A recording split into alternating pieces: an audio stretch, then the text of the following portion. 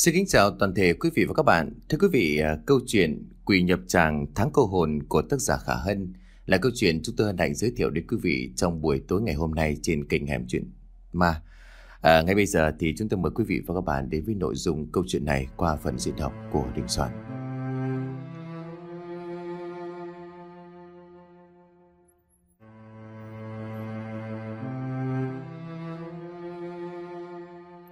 Theo quan điểm của dân gian, tháng 7 âm lịch hàng năm là thời gian của âm khí. Nhất là vào ngày rằm bởi ngày ấy, quỷ môn quan mở cửa cho những vong hồn uổng tử lên dương gian. Người nào có gia đình thì về nhà đoàn tụ, hưởng hương hoa bánh trái cúng kiến từ con cháu. Còn những vong hồn không nơi nương tựa thì chỉ có thể vất vưởng ngoài đường ngoài chợ. Chờ đợi những lễ cầu siêu xá tội vong nhân của các nhà chùa, gia đình nào đó cúng cho mà thôi. Ngoài ra người ta cũng hay kiêng kỵ việc tổ chức đám tang vào tháng này. Bởi khi đó người mất sẽ bị ảnh hưởng bởi những luồng âm khí xung quanh mà dễ đi sai đường, trở thành ngạ quỷ rồi cố gắng ở lại dương gian lâu nhất có thể. Và nếu trong nhà có người mất như vậy, thì mọi người cũng mời thầy cúng thầy chùa đến tụng kinh thật nhiều, để hồi hướng vong hồn đi vào con đường thiện đây là một câu chuyện vừa được bà Tư kể cho đứa cháu nội của mình. Nghe những chuyện ma mị kinh dị làng quê này thì mặt của nó xanh như tàu lá chuối. Và rồi không biết có phải trùng hợp hay không mà gần như ngay sau đó có người hàng xóm chạy sang báo tin. Bà Tư, bà Tư, bà biết tin gì chưa? Tin gì thế? Bà Đáo à, bà chết rồi. Cái cái gì? Bà Tư giật mình bởi người tên Đào vừa được nhắc đến đây là một người bạn quen biết trong làng. Lúc còn trẻ thì họ đã lớn lên cùng nhau. Những dịp hội hè hay có đoàn hát nào về thì cũng hú hí với nhau đi xem. So về cuộc sống thì bà Tư cùng chồng làm nông, nuôi thêm đàn con đến hết trung học thì nghỉ, rồi cũng làm nông theo bố mẹ nốt. Còn bà Đào thì lại có phần sung sướng hơn. Và lấy chồng giàu có các con cũng đều học đại học, rồi làm kỹ sư bác sĩ cả. Có thể nói trong làng mộc này thì bà Đào thuộc hàng giàu có nhất. Khoảng hơn 3 tháng trước trong một lần sang chơi thì bà Tư được bạn của mình tâm sự rằng đang mang trong người căn bệnh ung thư giai đoạn cuối. Không biết sẽ trở nặng rồi đi bất cứ lúc nào. Tuy đã biết trước như vậy, nhưng giờ đây tin tức của bà Đào ra đi thường không khỏi làm cho bà Tư đây chạnh lòng. Nỗi nội, để cháu ngước mặt lên hỏi, Bà Đào mất rồi thì có giống như lần nội nói không? Bà ấy sẽ thành quỷ hả? Không, con đừng có nói bậy. Đi vào trong nhà chơi đi, Để nội đi ra ngoài có tí việc. Nói xong, bà đẩy với tay cái nón, Đội lên đầu rồi tất tả bước ra ngoài. Trên đường đi có vẻ tin tức này là thật, Khi cũng có một vài người hiếu kỳ đi xem. Đến cổng nhà bà Đào thì đúng là bên trong đang có khá đông người đám con cháu bắt đầu tề tiệu. Nói kỹ hơn về gia đình của bà Đào. Bà cùng chồng có ba người con, hai trai một gái. Anh con trai cả tên là Phước làm kỹ sư nông nghiệp ở huyện, hiện đang độc thân sống cùng nhà với mẹ.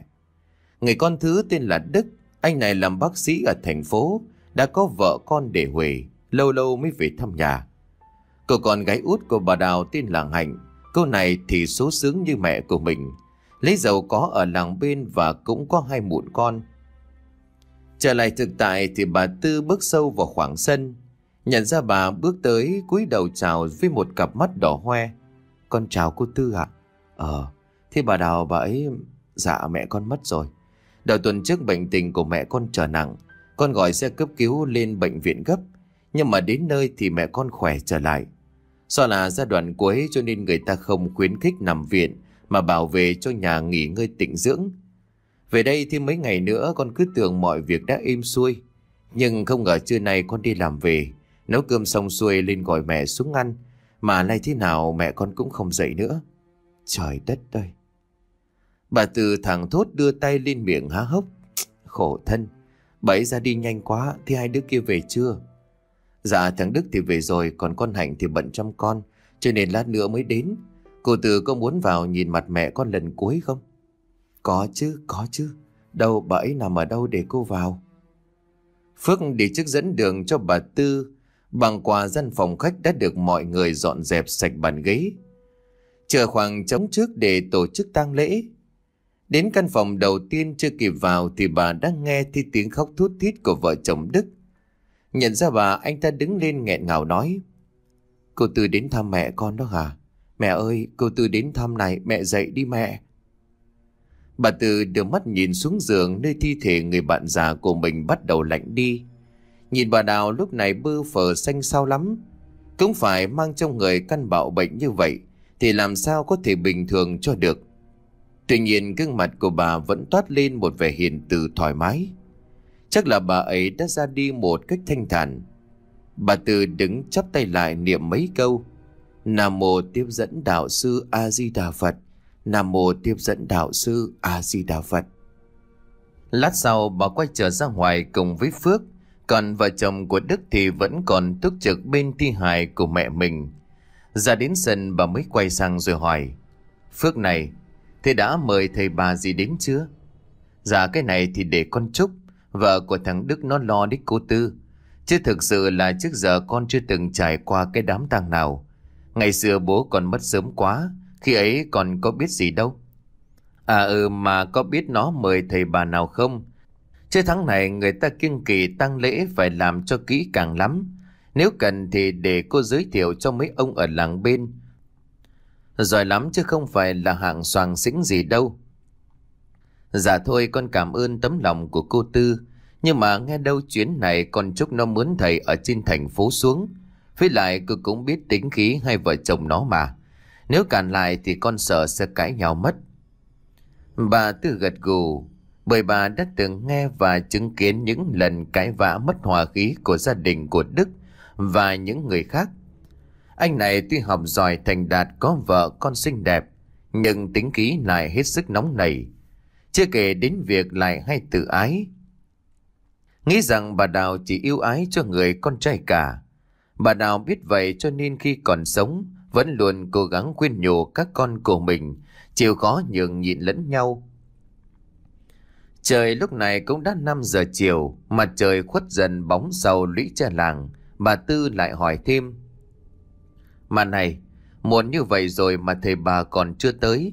Thế khi nào lập cáo phó với làm lễ nhập quan cho mẹ mày?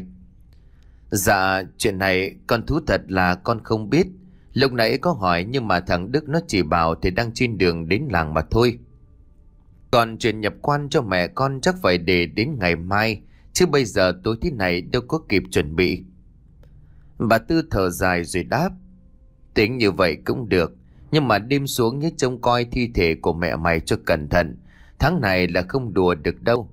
Dạ con biết rồi, con sẽ để ý. Ngồi thêm một lúc nữa thì bà Tư ra về để lo cơm nước với các con. Trước khi đi bà không quên dặn Phước rằng khi nào có bảng cáo phó hay tin tức gì thì qua báo cho bà một tiếng. Về đến nhà bà đem chuyện này kể lại cho mấy người con của mình nghe. Họ nghe xong thì cũng đều lắc đầu tặc lưỡi xót xa. Phú, con trai lớn của bà Tư lên tiếng. Mẹ này, bây giờ lo đám tang cho bà Đào xong thì mới mệt này. Sao lại mệt? Thì đằng nào chả dính đến chuyện chia chắc đất đai của cái. Anh Phước thì con không lo, chỉ lo cái thằng Đức kia. Nó vốn là đứa không có tình cảm, con sợ nhà bên ấy loạn mất. Bà Tư gật gù có vẻ bà cũng đồng tình với suy nghĩ của con trai. Phú liền nói thêm. Thế người giàu cũng khổ mẹ nhỉ. Cứ như nhà mình thì lại khỏe. Chẳng có gì để mà tranh giành cả. Chà bố anh chỉ được cái nói xàm là giỏi. Thôi lo cho mấy đứa nhỏ ăn đi rồi đóng cửa nghỉ ngơi. Mai còn ra động sớm. Dạo này thời tiết thất thường có đi đâu thì đội nón mang áo vào cho cẩn thận. Chẳng may đổ bệnh ra đó lại khổ vợ khổ con. Con biết rồi, mẹ ăn thêm cơm đi cho no. Thôi, ta no rồi. Nói xong bà đứng dậy bước ra chiếc chõng nằm ở ngoài sân để hóng gió. Trời tối nay gần rằm cho nên trăng cũng tròn hơn mọi khi. Bà Từ đưa mắt nhìn xung quanh để kiểm tra lại chuồng gà với đống củi khô lúc chiều. Ở đây tuy không thường xuyên bị mất trộm, nhưng có cũng vài trường hợp thanh niên loi choi hay đi phá làng phá xóm. Ngồi thêm được một lúc thì mấy cơn gió hiu hiu thổi từ mé sông lên, làm cho bà Tư bắt đầu có chút buồn ngủ. Bà ngáp khan vài cái đứng lên quay vào trong nhà nghỉ ngơi. Do tuổi cũng đã thuộc hàng sáu rồi cho nên giấc ngủ buổi đêm đối với bà quan trọng lắm.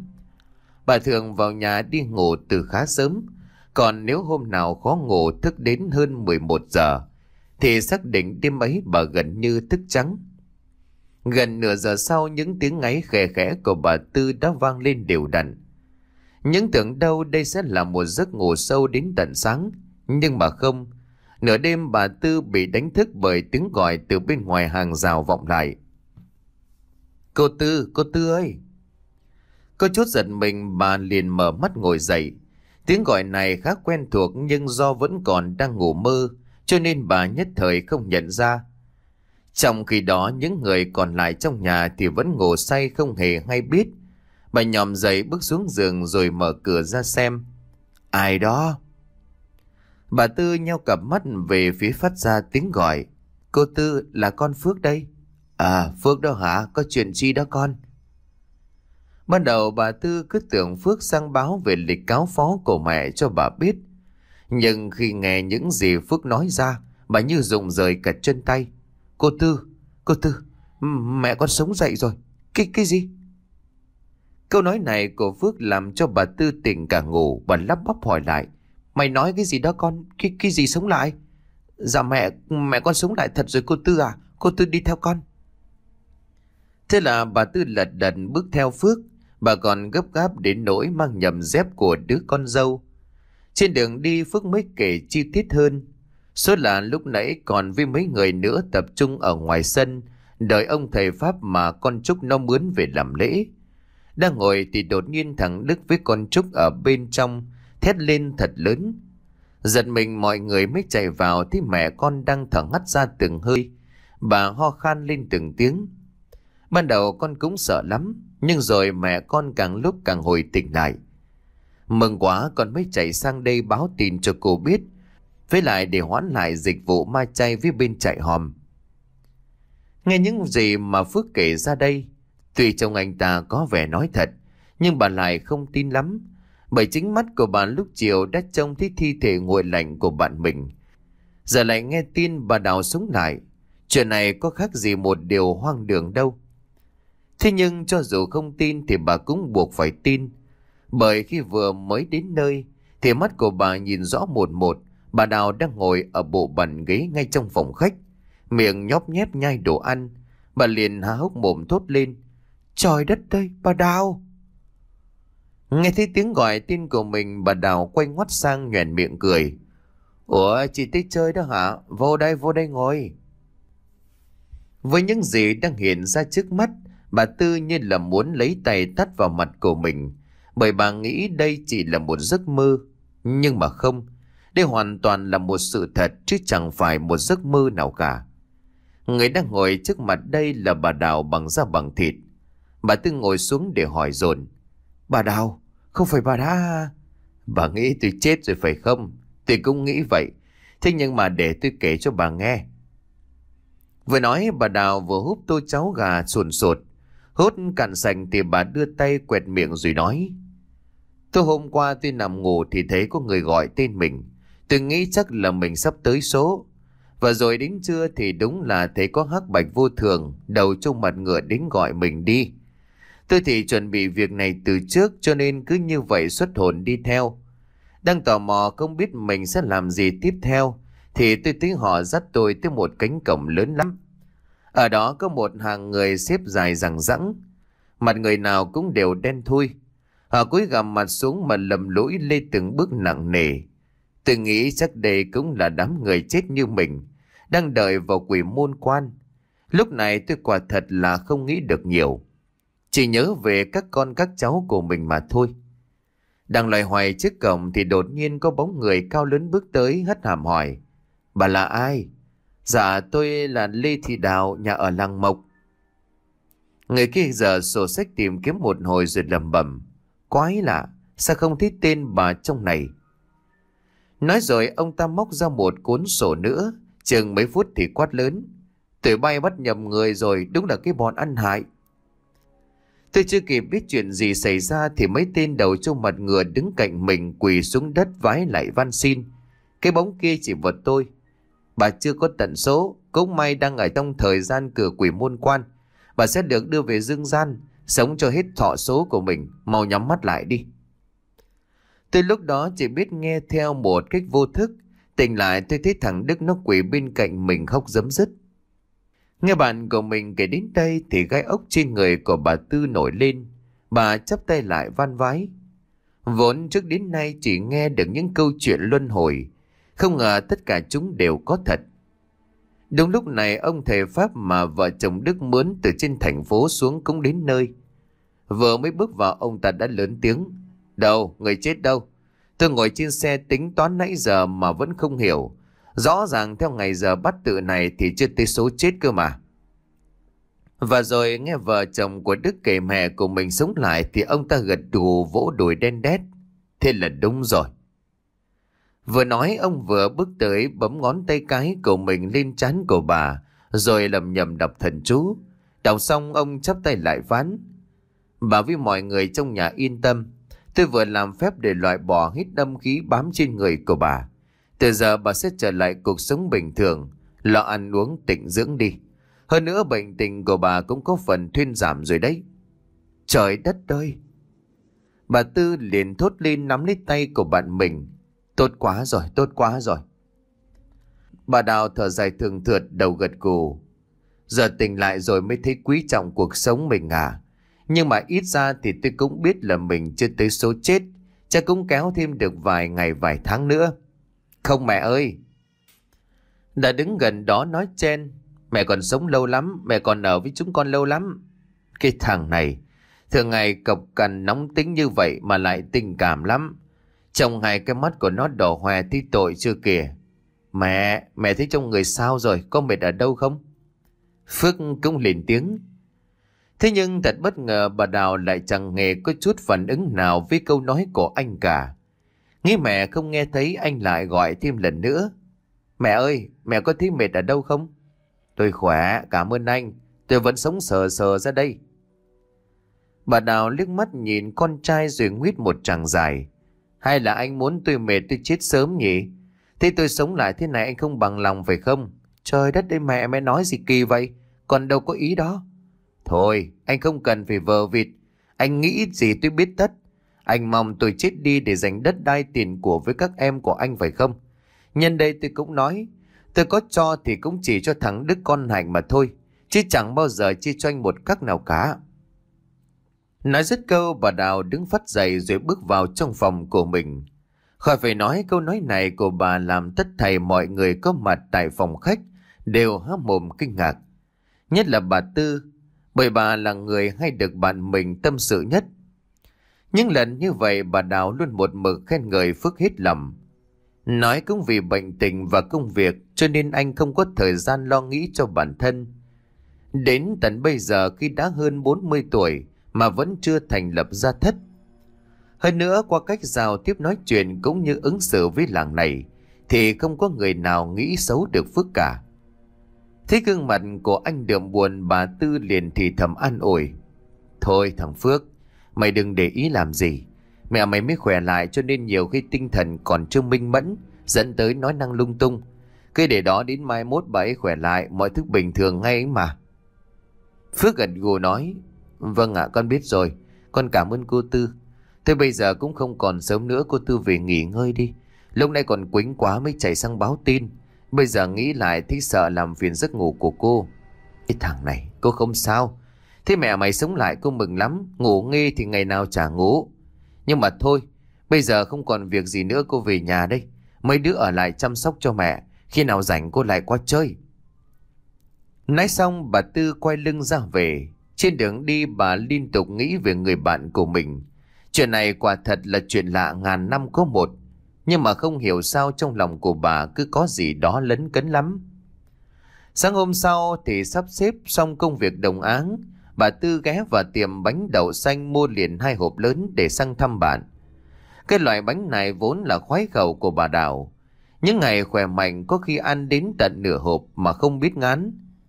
Xách theo túi bánh bà Tư đến trước cổng rồi cất tiếng gọi. Bà Đào, bà Đào. Ở bên trong nhà Đức bước ra anh gật đầu chào rồi hỏi. Cô Tư à có chuyện gì thế? À tôi qua thăm mẹ cậu một chút, bà có nhà không? Có nhưng mà mẹ tôi đang ngủ, có gì cô đến sau nhé. Bà Tư gật gù nghĩ lại thì đúng là bà Đào bây giờ cần tịnh dưỡng. Thế là bà đành gửi lại hai hộp bánh rồi ra về. Thế nhưng mà dòng dã ba bốn ngày liền đến thăm, bà Đào đều nằm ngủ. Lấy làm lạ bà Tư quyết định đợi cho Phước đi làm về ngang qua thì sẽ hỏi thăm. Không phải đợi lâu khoảng chừng hơn 11 giờ trưa, bà đã thoáng trông thấy bóng xe của Phước ở đằng xa. Thế là bà lật đật chạy ra cổng, cất tiếng gọi réo. Phước Phước ơi! Nghe tiếng gọi tên của mình, Phước gần lại, đưa mắt nhìn bà rồi quay xe đi tới. Đến nơi thì anh bước xuống xe cúi đầu. Dạ con chào cô Tư à có chuyện gì thế cô? À tình hình mẹ mày ra sao rồi con? Mấy hôm nay tao qua thăm mà bà ấy cứ ngủ miết. Cô Tư đến vào ban ngày phải không? Ờ đúng rồi mà sao? Ban ngày mẹ con ngủ đến tối mới thức. Ờ sao có chuyện đó? Sao mà lạ vậy? Dạ vâng ạ. Mấy hôm nay con cũng vì cái chuyện của mẹ mà mệt mỏi quá. Con kể cho cô nghe. Nhưng mà cô đừng nói cho ai biết nhé. Được, tao biết mà, mày kể đi con. Cô Tư không có nói với ai đâu. Dạ vâng ạ, con cũng không biết rốt cuộc là mẹ con bị gì nữa. Từ khi sống lại tới giờ tính khí của bà thay đổi nhiều lắm. Ngoài chuyện thay đổi giờ giấc sinh hoạt thì rất dễ nổi nóng. Trong nhà không ai nói chuyện được với mẹ con cả ngoại trừ vợ chồng của thằng Đức. Không biết mẹ con bị làm sao.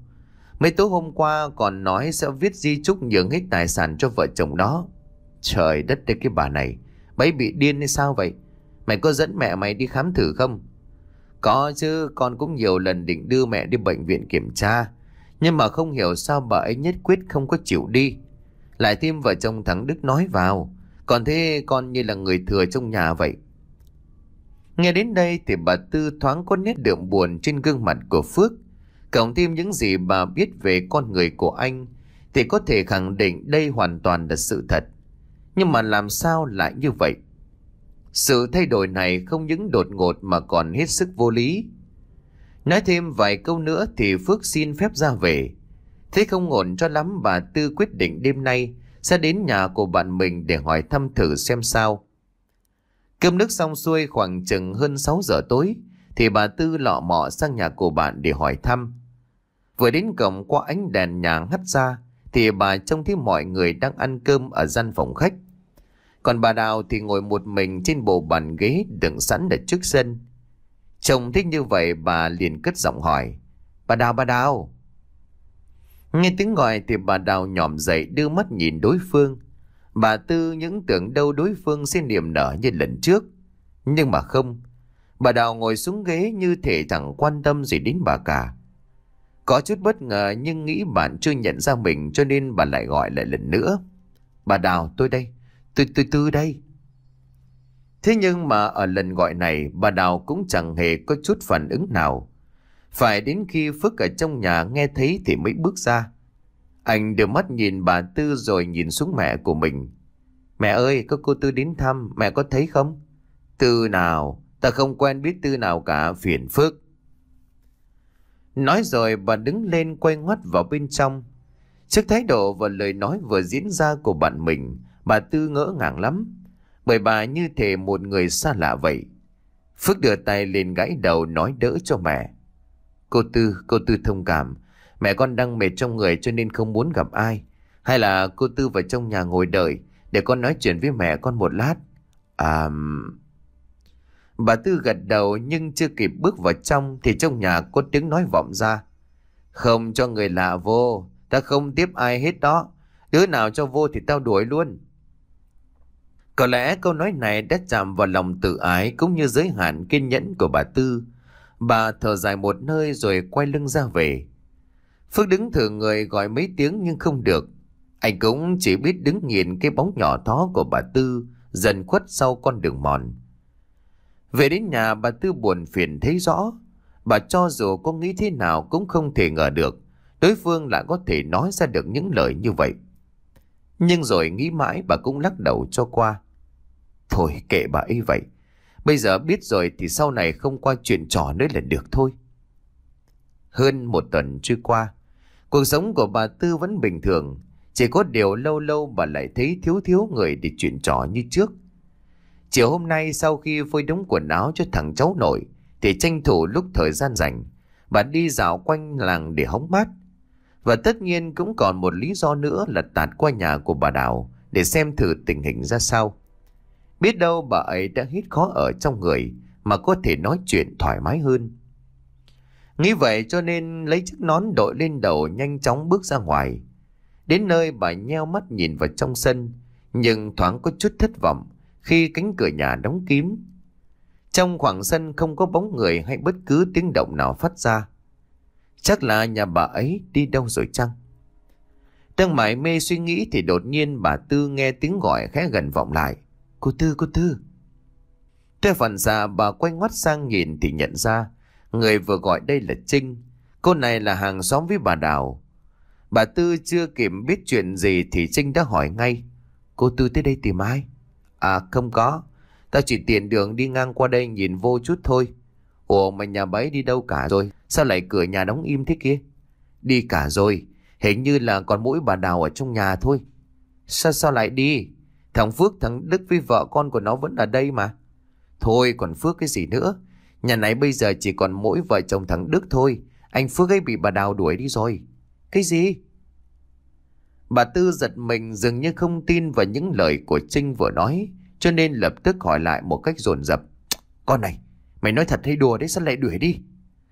Chuyện này thì con cũng đâu có biết. Hôm trước con đang ăn cơm tối thì nghe trong nhà bà Đào có tiếng cãi nhau lớn lắm. Con trước giờ không có hay giao tiếp với bên ấy, cho nên là chỉ đứng ở hàng rào rồi ngóng qua thôi. Con thấy bà Đào đứng ngay ở bầu cửa chống nạnh rồi lớn tiếng mắng chửi Phước. Bà ấy bảo anh là cái đồ mất dạy bất hiếu, không xứng đáng ở trong cái nhà này. Lúc ấy có vài người hiếu kỳ đến xem nữa mà. Trời đất đi, rồi sau đó là sao? Thì anh Phước bỏ đi chứ sao? Còn không biết có chuyện gì cả. Thế nhưng mà nhìn mặt anh ấy buồn lắm. Cả khu này ai cũng biết tính của anh là một người hiền lành, dễ thương, ít nói. Bây giờ bị mẹ chửi đuổi đi như vậy, thì chỉ biết cúi gằm mặt xuống, gói ghém đồ đạc leo lên xe mà đi thôi. Thì, thì nó đi đâu? Cái này thì con chịu thua. Thế nhưng mà mà nghe đồn là anh lên nhà người quen ở trên thị xã để thuê trọ đó cô Tư ạ. À? Nghĩ cũng khổ. Bây giờ có nhà mà không thể về, mẹ thì chẳng thèm nhận nữa. Nghe đến đây thì bà Tư rụng rời cả chân tay. Bà đưa mắt nhìn về phía bà Đào rồi hỏi. Thế vợ chồng thắng Đức không có nhà sao? Vâng ạ, lúc chưa con thấy hai người chạy đi đâu ấy, bây giờ vẫn chưa về. Còn bà Đào thì suốt ngày chỉ ở trong nhà thôi. Thậm chí là con chưa bao giờ thấy bà ấy ló mặt ra ngoài vào ban ngày nữa. Trinh nói xong thì bà Tư quyết định đi vào bên trong hỏi cho ra nhẽ. Dù sao thì chuyện của Phước cũng cần phải có lý do chính đáng, chứ không đuổi đi như vậy thì quá là vô lý. Nói là làm bà bước thẳng vào bên trong khoảng sân rồi gọi lớn. Bà Đào, bà Đào, bà dậy đi tôi, tôi hỏi cái chuyện này. Trước tiếng gọi có phần gai gắt của mình, những tưởng đâu đối phương sẽ xuất hiện nhưng mà không. Chẳng có bất cứ một lời nào đáp lại cả. Có chút sốt ruột bà liền bước tới gần đưa tay gõ vào cánh cửa nhà. Bà Đào, bà có nghe tôi nói không hả bà Đào? Mọi thứ vẫn im lìm bà Tư liền lầm nhầm. Quái lạ, cho dù có đang ngủ đi chăng nữa thì cũng phải tỉnh dậy khi mình gọi như thế này mới phải chứ. Và rồi bà sực nhớ ra ở góc phòng của bạn mình có một cái cánh cửa thông ra bên hông nhà. Thế là bà đi ngược về hướng ấy. Đến nơi thì có chút bất ngờ bởi cánh cửa sổ dường như được làm lại. Nó chắc chắn hơn với những hàng song bằng sắt. Được bắt chặn vào vách tường chứ không phải là cánh cửa sổ bằng gỗ như trước. Bà Tư đưa tay lên gõ rồi gọi lớn. Bà Đào, bà Đào, bà có trong đó không trả lời tôi đi. Lại chẳng hề có chút phản hồi nào. Vừa tò mò cộng thêm chút bực bội bà Tư quyết định ghé cặp mắt nhìn vào bên trong. Vừa ghé đầu vào nhìn thì đột nhiên bà cảm thấy một thứ mùi tanh hôi đến lợm giọng sộc thẳng vào mũi. Thứ mùi khó chịu đến mức làm cho bà phải giật lùi ra đằng sau nhăn nhó. Quái, cái gì thế này, hôi quá. Đợi thêm một lúc nữa nhưng mà có vẻ thứ mùi kia không hề thuyên giảm đi chút nào. Bà Tư đành phải dùng một tay của mình bịt mũi rồi ghé mắt. Bên trong phòng này là một màu đen thui, không một chút ánh sáng nào cả. Cho dù cố nhau mắt để nhìn nhưng bà Tư cũng chẳng thấy được bất cứ điều gì. Nghĩ chắc bà Đào không có bên trong cho nên bà quyết định quay lưng rời khỏi. Thế nhưng đúng lúc ấy, từ bên trong vọng ra tiếng gầm gừ. Thoáng chút dần mình bà liền thì thầm hỏi. Bà Đào, là bà đấy hả bà Đào? Nhưng một lần nữa sự im lặng bao trùm tất cả. Nghĩ mình nghe nhầm cộng thêm việc trời đã bắt đầu tối, cho nên bà Tư đành phải ra về để lo cơm nước cho gia đình của mình. Vừa mới ra cổng thì bà bắt gặp vợ chồng của Đức chạy xe về tới. Anh ta ngồi trước Trúc ngồi sau. Trên tay của cô xách theo 4 năm con gà trống còn sống. Trông thấy bà Đức có chút bất ngờ. Cô Tư, cô Tư đi đâu vậy? À, ta có chút chuyện định qua đây. Định hỏi thăm mẹ mày một tiếng ấy mà. Không cần đâu à. Mẹ con đang không khỏe trong người, không muốn tiếp ai cả. Cô Tư lần sau tới mà không có con ở nhà thì đừng có vào. Bà Tư gật gù toan định hỏi Đức về chuyện của Phước, nhưng nghĩ lại thì thôi bà quay lưng ra về. Trời đêm nay tối lắm, không khí âm mưu cộng thêm với cơn mưa rào lất phất, làm cho sự âm mưu ấy được nâng lên gấp bội. Bà Tư ngồi trong nhà con cháu thì đang tụ tập ở phòng khách xem tivi. Còn bà thì cứ ngồi thường người ra, nhìn vào không gian tối đen trước mặt mà nghĩ ngợi đủ thứ. Và rồi đột nhiên bà nghe thấy tiếng động từ đằng sau nhà. Tiếng động không lớn lắm nhưng cũng vừa đủ để cho bà giật mình. Quái là tiếng gì vậy? Bà nhận ra tiếng động nằm ở phía cái chuồng gà bên hông nhà. Một ý nghĩ ngay lập tức xuất hiện. Đó chính là có kẻ gian nào đột nhập để mà ăn trộm gà của bà hay không? Nghĩ đến đây thì bà quay sang lên tiếng gọi. Phú Phú, mày mày chạy ra cái chuồng gà xem thử có ai không? Sao mà nghe có, có tiếng động ở ngoài ấy? Nghe vậy thì Phú giật mình vội vàng đứng phát dậy lao ra ngoài. Bà Tư cũng cầm chiếc đèn pin đi theo. Ra đến nơi thì bà hít sức ngỡ ngàng khi trông thấy cánh cửa chuồng gà bị bật tung. Đám gà bên trong nhốn nháo hoảng loạn lắm. Trộm đúng là có trộm rồi. Phú liền thốt lên, vừa lấy cây dựa trong vách tường rồi đảo mắt tìm kiếm xung quanh. Bà Tư thì cúi xuống nhìn vào trong chuồng gà để đếm. Lầm nhầm tính toán một hồi bà thở phào. Không, không mất con nào cả. Chắc là mình phát hiện sớm cho nên nó chạy mất rồi. Để cho chắc ăn hơn Phú cúi xuống đếm lại một lần nữa. Đúng thật là không mất con nào cả. Hai mẹ con loay hoay sửa chữa lại cái chuồng gà rồi mới vào. Tuy nhiên cả đêm nằm trong nhà bà Tư thấp thỏm lo âu. Hễ có bất cứ một tiếng động nào thì bà giật mình chạy ra xem ngay. Đến sáng sau một đêm gần như là thức trắng, bà Tư cảm nhận cơ thể của mình mệt mỏi. Bà nằm ly bề trên giường để ngủ bù cho đến tận trưa, mới bình thường trở lại. Vừa bước ra khỏi phòng bà liền nghe tiếng gọi của con trai. Mẹ ơi mẹ, mẹ biết chuyện gì chứ? Chuyện chi đó mày? Đêm qua đúng là có trộm đấy mẹ. Không chỉ ở nhà mình đâu, nó có trộm gà trộm vịt mấy nhà gần đây nữa. Lúc sáng con ra đồng thì nghe người ta kể lại, cái thằng trộm này nó cũng gan lắm.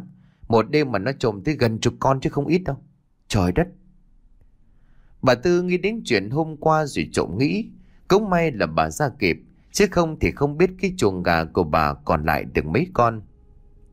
Phú thì cũng lo lắng không kém gì mẹ của mình. Anh vội vàng chạy ngay ra tiệm mua đêm đinh và ván gỗ để đóng lại cái chuồng gà cho chắc chắn hơn.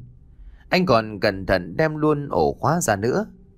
Nếu như kẻ trộm kia có xuất hiện thì cũng mất khá nhiều thời gian để xử lý. Tin tức vụ trộm được người dân báo lên công an. Họ xuống điều tra thì lại chẳng hề phát hiện ra điều gì ngoài mấy vết chân trần. Trở về chiều, cơn mưa phùn lại bắt đầu nhỏ từng hạt xuống lất phất. Ngồi dưới mái hiên, bà Tư xoay vòng với đống suy nghĩ vẩn vơ. Tất nhiên là không ngoại trừ luôn cả việc suy nghĩ về người bạn già của mình. Dẫu biết bây giờ bà Đào đã thay đổi tính nết, nhưng làm sao bà có thể chấp nhận được cái sự thay đổi quá sức đột ngột này?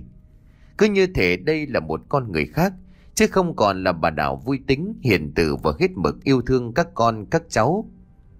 Đang nghĩ ngợi thì đột nhiên mắt của bà trông thấy bên ngoài đường đang có một bóng người chạy xe ngang qua. Không mất quá nhiều thời gian để bà nhận ra đây là Đức, đứa con thứ của bà Đào. Thế nhưng thứ đáng chú ý chính là đống linh kình anh ta đang chờ đằng sau yên xe.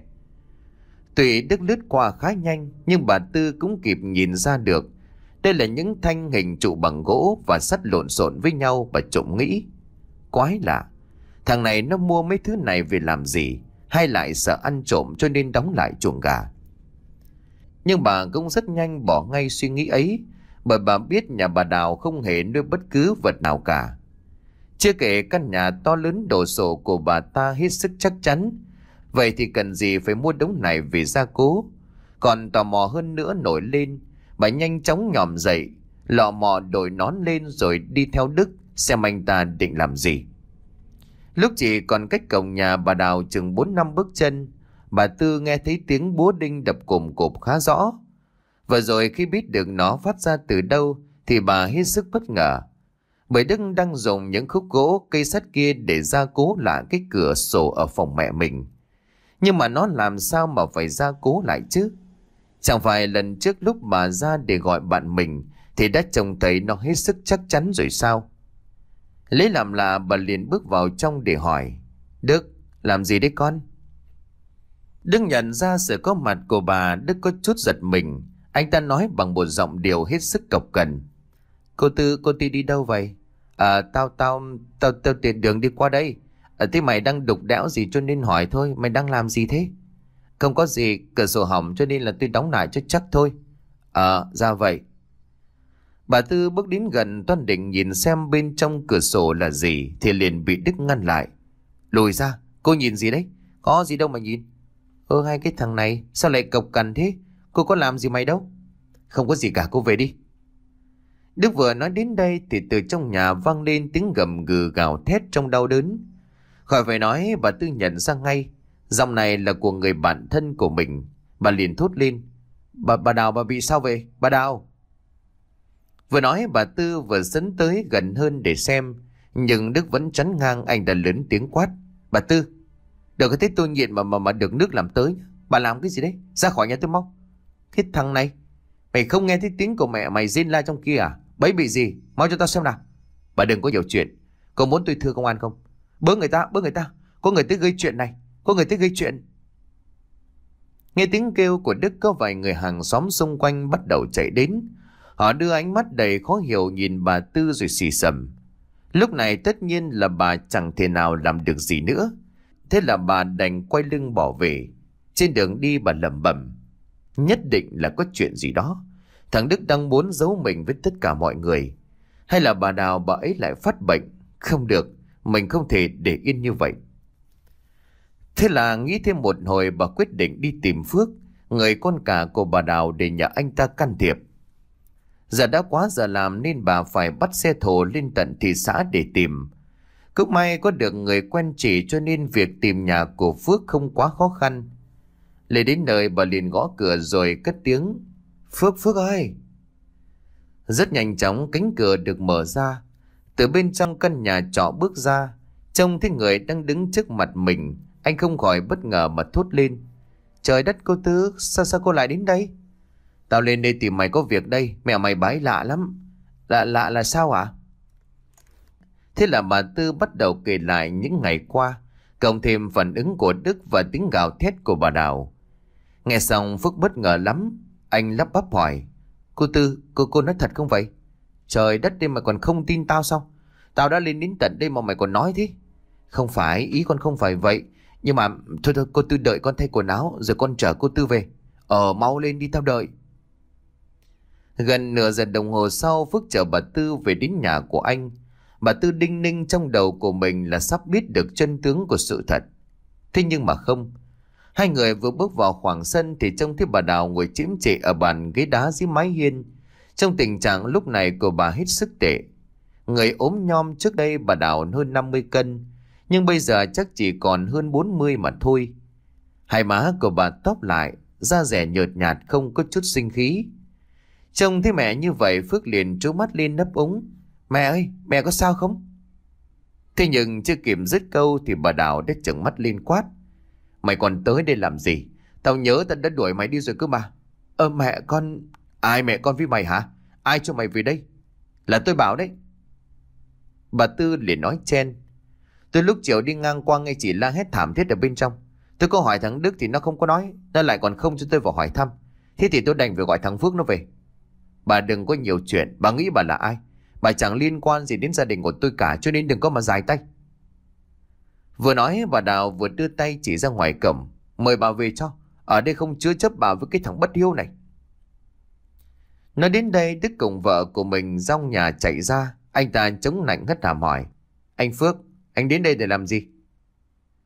Phước chưa kịp trả lời thì Đức hất hàm hướng về bà Tư. Còn bà nữa, sao bà cứ dai như là đỉa đói thế hả? Tôi phải nói biết bao nhiêu lần là bà đừng có đến đây làm phiền gia đình tôi nữa. Hay là bà muốn tôi gọi công an gô cổ bà đi? Đức, không được hỗn với cô Tư. Phước liền ngắt lời của em trai. Sự căng thẳng lúc này càng được đẩy lên cao khi mà bà Đào ngửa cổ lên trời rồi hét lớn. Bữa người ta có ăn cướp. Tường thật hàng xóm xung quanh đổ xô đến. Khỏi phải nói bà Tư lần đầu tiên trong cuộc đời của mình cảm thấy xấu hổ hơn bao giờ hết. Bà đưa tay lên xua xua giải thích với đám đông xung quanh rồi nhanh chóng ra về. Phước cũng không nán lại lâu hơn. Anh đưa cặp mắt đượm buồn nhìn mẹ và đứa em trai rồi quay lưng bước đi. Về đến nhà cơn nấm mức làm cho bà Tư đỏ cả mặt mày. Chưa hết Phú còn chạy ra hỏi. Mẹ đi đâu cả chiều giờ vậy hả? Còn với mấy đứa nhỏ đi tìm mãi mà không có thấy. Mẹ đi đâu thì cũng phải nói một tiếng chứ lỡ có chuyện sao. Bà Tư không muốn tranh cãi gì cả. Chỉ liếc mắt nói mẹ không sao rồi bước thẳng vào trong phòng ngủ của mình. Và đến nơi thì bà nằm phịch xuống giường. Trong đầu vẫn còn hiện lên cái hình ảnh và những lời nói đầy gây gắt của bà Đào. Hay nói đúng hơn là lần này, nó tác động rất mạnh đến tâm lý của bà. Ngẫm nghĩ một hồi thì bà tự hứa với lòng mình. Thôi kệ, từ giờ mình sẽ không quan tâm gì đến nhà bà ấy nữa, ra sao thì ra. Hai ngày tiếp theo trôi qua không hề có thêm vụ trộm gà vịt nào nữa, cho nên mọi người trong làng bắt đầu trở lại nếp sống bình thường. Đêm này trời đột ngột đổ cơn mưa to. Bà Tư nằm ăn cơm xong thì ngồi chơi cùng với đứa cháu nội. Phố thì đứa uống rượu với mấy người trong làng. Đang kể cho mấy đứa cháu nghe câu chuyện cổ tích thì đột nhiên, từ bên ngoài Phú chạy thọc vào. Trông thấy vẻ mặt hớt hải của con trai, kèm theo là mùi men làm cho bà Tư khó chịu, bà liền nhú mày hỏi. Có chuyện gì đó, mày bị gì hả con? Không không à, con không sao. Nhưng nhưng mà nhà bà Đào, nhà bà Đào có người chết. Cái gì? Khỏi phải nói bà Tư giật mình và người mà bà nghĩ đến đầu tiên chính là bà Đào, bạn của mình. Nhưng mà không, cái tên Phú nói sau đây mới làm cho bà giật mình. Thằng Đức nó chết rồi. Sao sao lại chết? Còn cũng không có biết. Bà nãy đang ngồi nhậu ở quán bà hay mập thì nghe thấy người ta đi đường á. Hỏi ra thì mới biết là nhà bà Đào có chuyện. Nghe đâu là thằng Đức bị giết. Còn vợ nó thì cũng bị đăng thập tử nhất sinh. Trời đất thế, thế còn bà Đào bẫy có làm sao không? Con không biết. Nghe tin thì con liền chạy về báo cho mẹ hay đó. Mẹ có qua bên ấy xem không? Có có chứ. Bà Tư vội vàng chống tay dậy. Hai mẹ con mặc áo mưa nhằm thẳng hướng nhà bà Đào mà bước tới. Đến nơi tuy trời mưa, nhưng mà đã có khá đông người tụ tập hóng chuyện. Công an cũng đã có mặt. Họ răng dây ngoài cổng không cho bất cứ người nào vào cả. Bà Tư chèn mãi mới lách được vào hàng rào để nhìn vào. Không cảnh bên trong nhà lúc này quả thật là kinh hoàng. Từ cái bầu cửa ra đến tận giữa sân là một vệt máu dài đỏ thẫm. Thi thể của Đức đã được chuyển đi từ trước. Bà Tư cố gắng nhau mắt nhìn để tìm kiếm tung tích người bạn. Nhưng mà dường như không hề thấy. Bất quá bà mới hỏi một anh công an đứng ở gần đó. Chú công an này, chú cho tôi hỏi một tí. Chuyện gì đó bà? À vâng, tôi, tôi, tôi là người quen của bà chủ nhà này. Chứ chú cho tôi hỏi là chuyện gì xảy ra? À, thưa bà là hiện giờ cơ quan chức năng chúng cháu đang điều tra. Chưa thể kết luận được gì.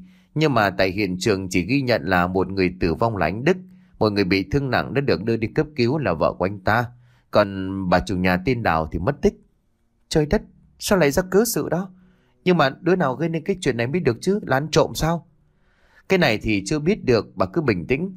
Đợi cơ quan chúng cháu điều tra xong rồi sẽ công bố cho đông đảo bà con được biết. Bà Tư thở dài chắp tay lại lâm dâm niệm Phật cầu xin ơn trên ban phước cho người bạn già của mình.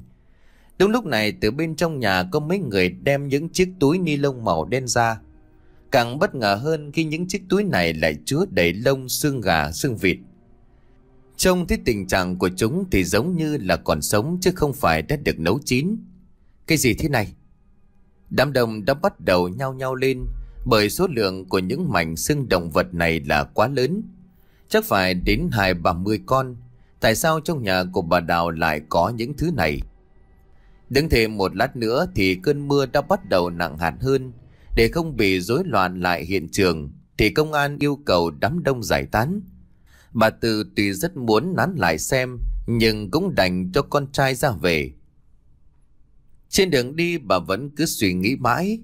Dạo gần đây không còn thân thiết gì nữa. Nhưng trước những biến cố trong gia đình ấy, thì bà cũng chẳng thể nào dừng dưng cho được. Về đến nhà hai mẹ con rửa giấy mình mẩy xong thì Phú mới hỏi. Mẹ này, mày nghĩ chuyện này ai làm?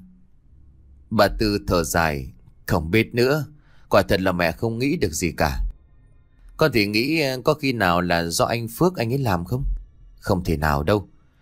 Thằng Phước nó hiền lành, làm sao dám làm mấy cái việc táng tận lương tâm này chứ?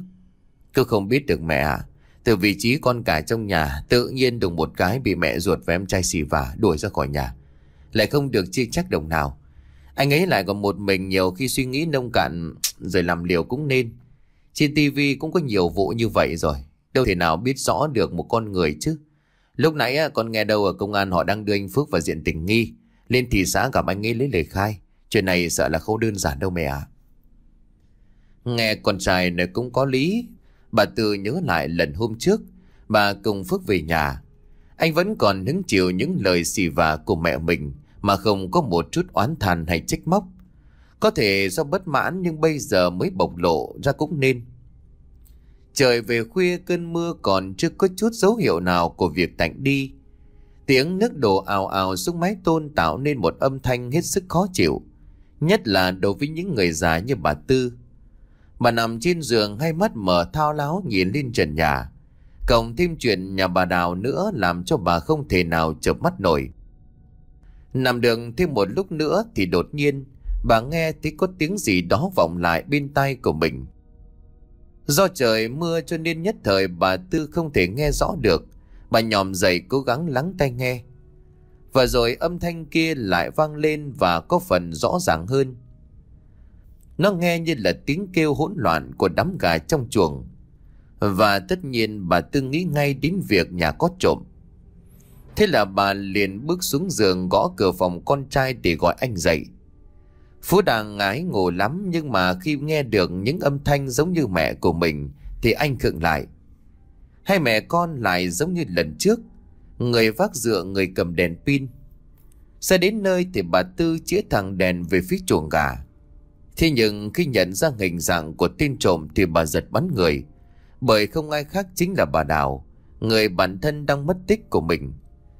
Kinh dị hơn trên miệng của bà đang ngậm cổ một con gà. Răng nành từ trong hàm lộ ra, dài phải đến vài phân. Cả mắt của bà thì khỏi nói nó đen ngòm không thấy tròng trắng đâu cả. Bà, bà, bà đau. Bà Tư chỉ kịp thốt lên đến đây thì đối phương đã quay lưng bỏ chạy. Phố với phản xạ của người bình thường anh vừa vung cây dựa lên vừa thét lớn. Đứng lại!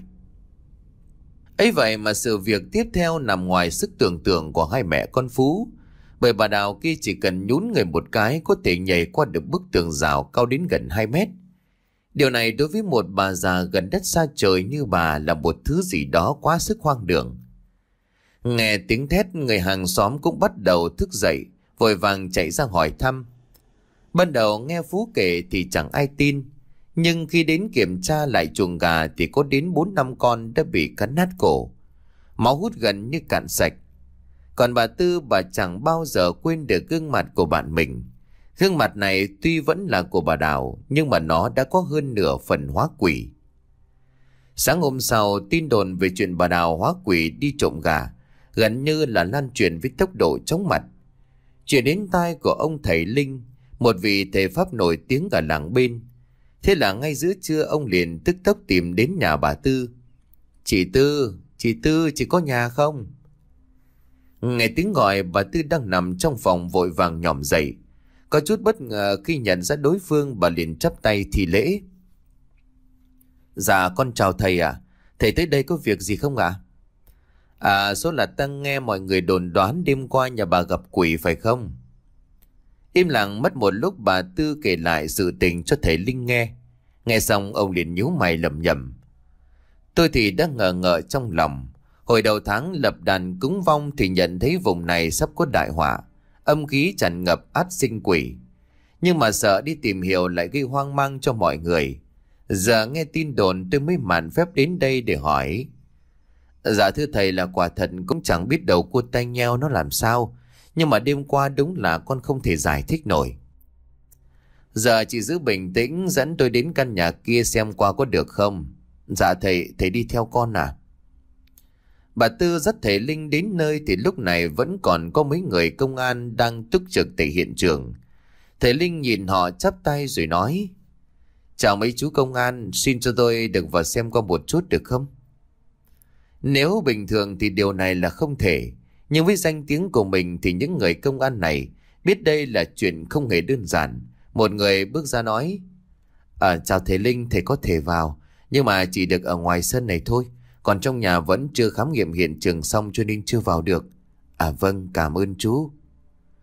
Nói xong ông lách qua sợi dây chắn ngoài cổng rồi bước vào.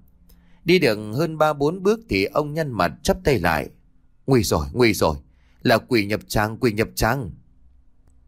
Ông quay qua chỗ của bà Tư. Chị Tư này, có phải trong nhà này có người chết đi rồi nhưng đột nhiên sống lại? Dạ đúng là bà Đào.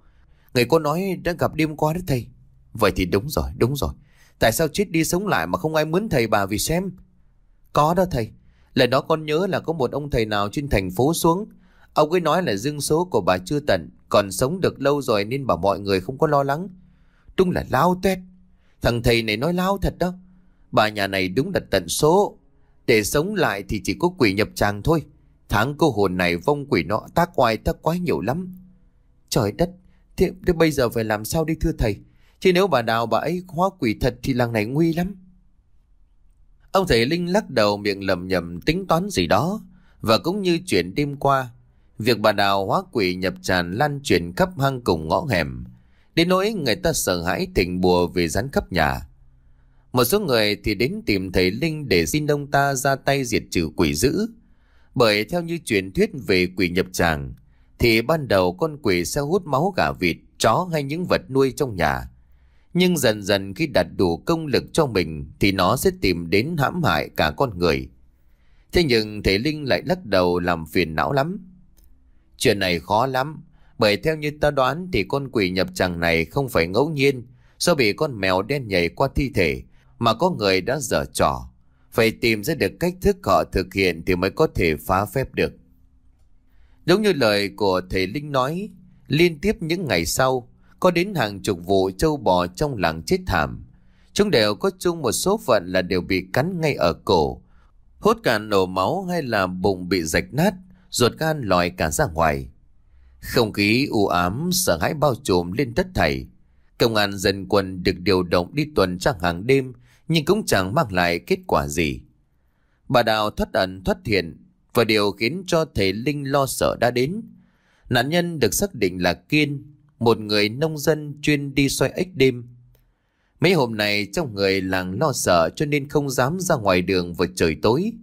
Cộng thêm trời vừa mới tạnh mưa, cho nên Kiên nghĩ bụng ếch ngoài đồng sẽ rất nhiều. Anh liều mình ra đó bắt một đêm để kiếm tiền mua gạo cho các con.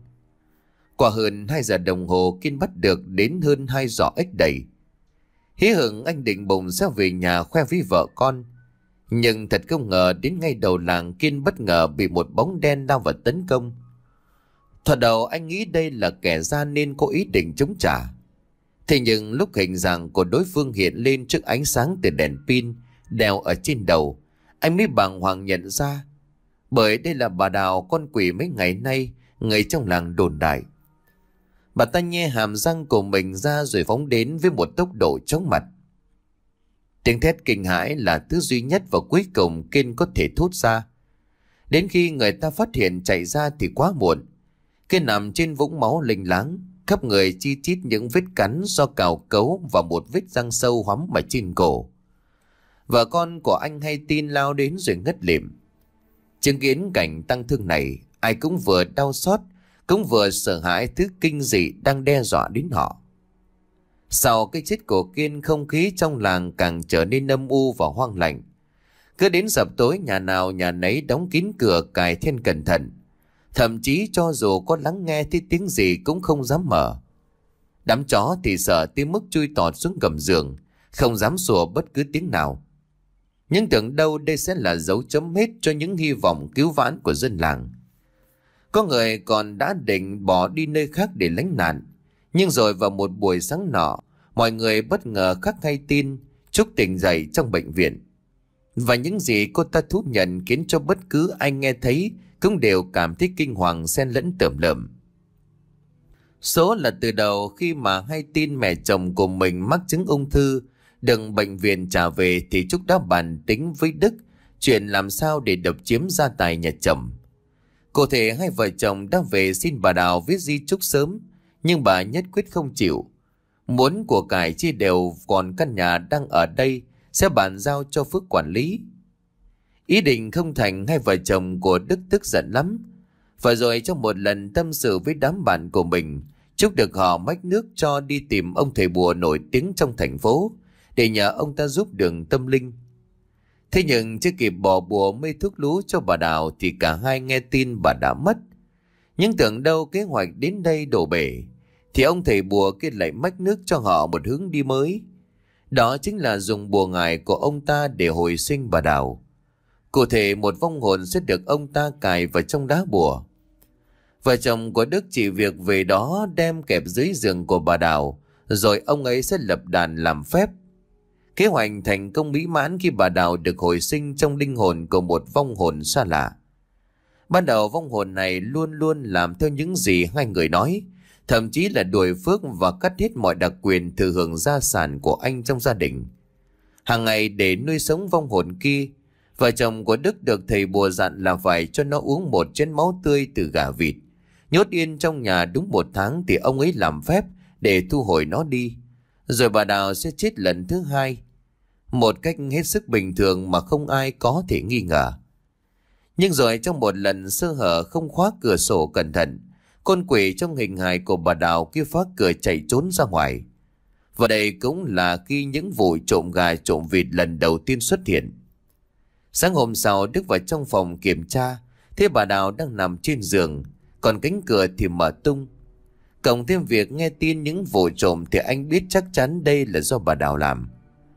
Sợ bà lại trốn được ra ngoài rồi làm cho người ta biết. Thế là anh đành đi mua đồ bịt kín cánh cửa sổ lại. Quyết không để sự việc này xảy ra thêm lần nào nữa.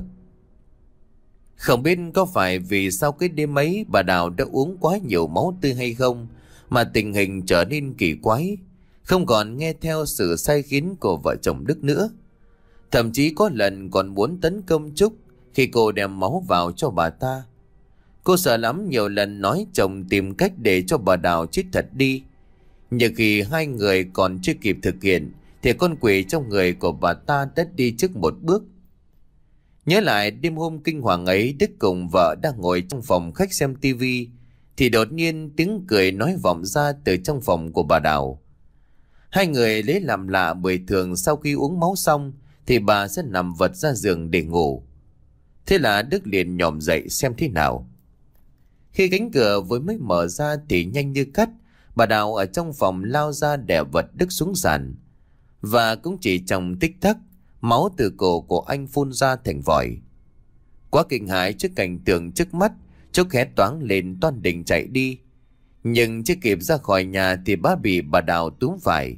Bà nhe hàm răng nanh của mình rồi cắn lấy để vòng, rồi cắn lấy cắn để vào người của cô. Chưa dừng lại ở đó, mười ngón tay của bà sắc nhọn, như thể mười lưỡi dao vậy. Chạm đến đâu thì da thịt của Trúc tét ra đến đó. Chúng đòn đau cô chỉ kịp hét lên rồi ngất lịm. Lúc tỉnh dậy cô còn tưởng mình đã chết.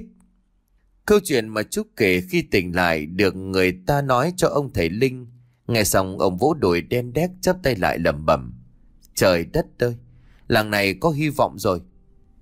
Thế là ông lại đến nhà bà Đào. Lần này ông nhờ mấy chú công an lấy giúp lá bùa đặt dưới giường của bà Đào cho mình. Cầm lá bùa trên tay ông bắt đầu lầm nhầm suy tính. Trời trở về đêm không khí trong làng mộc như thể ngưng động lại. Ông thầy Linh lập một cái đàn tràn nằm ở giữa chính bãi đất trống đầu làng. Trên đàn đặt đồ loại bùa chú khói hương nghi ngút. Chưa kể đến hàng chục thanh niên trai trắng trong làng được ông bố trí ở những bụi rậm gần đó. Đúng 12 giờ đêm thầy Linh bước ra giữa đàn tràng. Một tay của ông bắt ấn niệm chú, tay còn lại thì cầm quả chuông nho nhỏ rung lên. Niệm chừng khoảng nửa giờ đồng hồ thì ông ngưng lại, đem lá bùa lấy ở dưới giường của bà Đào đặt lên đĩa. Sau đó thì lấy máu chích từ ngón tay của mình dậy vào. Khi máu tiếp xúc với bùa nó phát ra tiếng kêu lèo xèo đáng sợ. Nhưng đây chưa phải thứ đáng sợ nhất, bởi gần như ngay lập tức, người ta trông thấy phía xa một bóng người đang lững thững bước tới. Đến gần với đàn chẳng hơn và khó khăn lắm, thì họ mới nhận ra đây là bà Đào. Bởi ngoại hình của bà bây giờ chỉ có thể gói gọn trong hai từ gớm ghiếc. Tay chân của bà dài thòng xuống miệng chảy ra, hai mắt đen độc và đặc biệt cái miệng lườm chởm răng nhọn. Ông thầy Linh chỉ thẳng vào bà rồi quát. Còn quỷ kia, mày đã đi sai đường còn chấp mê bất ngộ, định hại bao người nữa đây. Đừng tưởng thắng cô hồn năm khí thịnh mà muốn làm gì thì làm. Trương câu nói này của ông, bà Đào chỉ ngước lên nhìn với một vẻ khinh khi, chứ không hề có chút nào sợ sệt. Thậm chí miệng của bà còn nhếch lên như thể cười cợt ông. Nhưng mà thể Linh đâu có nói xuông. Ông lấy từ trong túi của mình ra một tấm gương chỉ thẳng về phía trước mặt của mình. Không biết tấm gương kia có sức mạnh ra sao, nhưng mà bà Đào có vẻ sợ nó lắm. Bà giật lùi mấy cái toan định tháo chạy thì thể Linh hét lớn. Mọi người đâu, mau ra đi. Vốn đã chuẩn bị từ trước cho nên từ trong bụi rậm, hàng chục thanh niên tay cầm roi bệnh bằng nhành dâu, cứ như vậy quật tới tấp vào người của bà Đào. Chúng đòn đau bà nằm vật xuống đất, miệng gầm gừ như thể trực chờ phản công vậy. Tất cả vẫn nằm trong suy tính của thầy Linh. Ông thầy nhảy xuống khỏi đàn tràng dùng chính đá bùa lấy được dưới giường, áp thẳng vào chán của bà. Cả người của bà Đào lúc này giật đùng đùng như thể bị xét đánh vậy. Chỉ trong tích tắc toàn bộ da thịt trên người của bà ta đều bị thối giữa, tèo tóc lại như thể một cái xác đang trong quá trình phân hủy. Một mùi hôi tanh đến lợm dòng cũng bốc lên, làm cho tất cả mọi người phải đưa tay bịt lấy mũi. Để chừng nửa giờ đồng hồ sau thì ông thầy Linh ra lệnh cho mọi người đem xăng củi tới chất lên, hòa táng thi thể của bà Đào. Trong làn lửa đỏ rực chốc chốc người ta lại nghe tiếng riêng rỉ gào thét đau đớn. Mà trong giọng này nó ồm ồm vang vọng như thể từ một nơi sâu thẳm nào đó.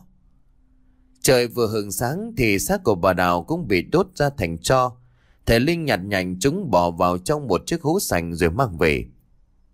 Nói về Phước sau thời gian bị công an hỏi cung, anh cũng chứng minh được bản thân của mình trong sạch. Mẹ và em trai đã mất, thế là anh dọn về căn nhà cũ để lo hậu sự và hương khói cho họ. Chúc người vợ của Đức không biết có phải là nhận quả báo không. Nhưng sau khi xuất viện, cô ta đang trong lúc qua đường, đã bị một chiếc xe tải chạy ngang qua cán người chết tại chỗ. Sự việc đến đây cũng coi như khép lại. Tuy nhiên, chuyện quỷ nhập tràng ở làng mộc này át hẳn còn in sâu trong đầu của những người dân trong vùng. Kể cả những người trực tiếp chứng kiến được bà Tư hoặc chỉ nghe kể lại. Và nó cũng là một lời cảnh tỉnh cho những ai tham lam, muốn độc chiếm thứ không thuộc về mình. Để rồi đến khi hối hận thì cũng đã quá muộn màng.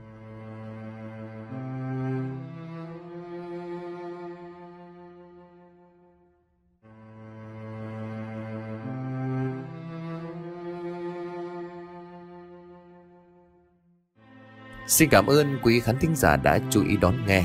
Xin kính chào, tạm biệt quý vị và xin hẹn gặp lại quý vị trong những câu chuyện tiếp theo.